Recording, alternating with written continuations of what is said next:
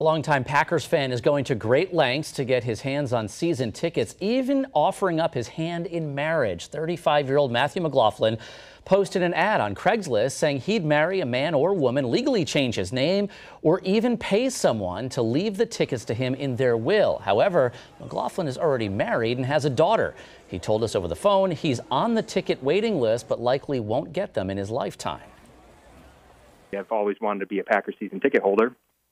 And so, probably out of a little bit of frustration, I put together this Facebook ad and I and I posted it, and figuring I would um, cross cross whatever bridges came before me, um, not really expecting anything to come out of it.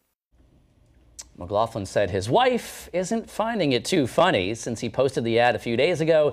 He said he's had one offer for two season tickets for $10,000. He declined because he said it was too much.